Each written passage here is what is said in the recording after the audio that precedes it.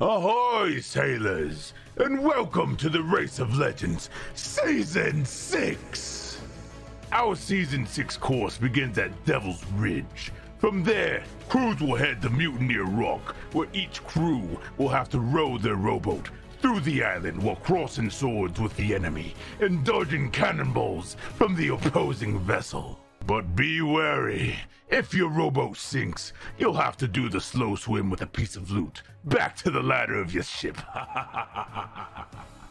Once your crew has either reattached your rowboat or boarded with your loot, you are to navigate to Thieves' Haven, sailing your vessel through and around the island before continuing on to Crow's Nest Fortress. This is where crews will be separated from their ship while they are to cannon onto the fortress, die as quickly as possible, and then respawn back together on their ship.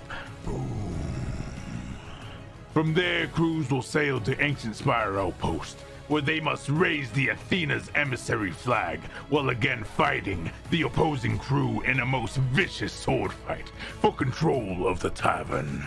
Once your crew raises the emissary flag, quickly return to your vessel and set sail back to Devil's Ridge, where the final fight will take place. And the first team to race and light the beacon atop the island shall become Race of Legend champions!